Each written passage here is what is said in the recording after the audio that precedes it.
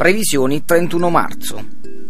Una bolla di aria calda in quota favorirà nella giornata odierna una generale stabilizzazione dell'atmosfera su tutta l'Italia, a parte qualche disturbo sulle zone tirreniche, e un sensibile aumento delle temperature che si porteranno su valori di fine maggio inizio giugno.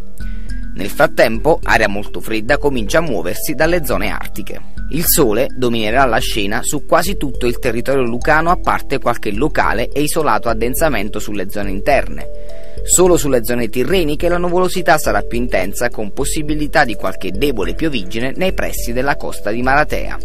Qualche nube bassa sarà possibile anche lungo le zone ioniche per via di un leggero scirocco. Le temperature saranno in ulteriore e sensibile aumento, specie nelle massime, con valori di oltre 20 gradi in diverse zone minime di 7 gradi a Potenza e 9 a Matera, massime di 18 a Potenza e 20 a Matera. I venti saranno inizialmente da nord-ovest, tendenti a ruotare a sud-ovest su tutta la regione tranne che sullo Ionio, dove ci sarà un leggero scirocco.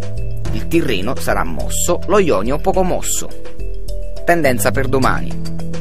Sulla nostra regione tornerà ad aumentare la nuvolosità, specie nel pomeriggio, con possibilità di qualche debole precipitazione a partire dalle zone più meridionali ed occidentali.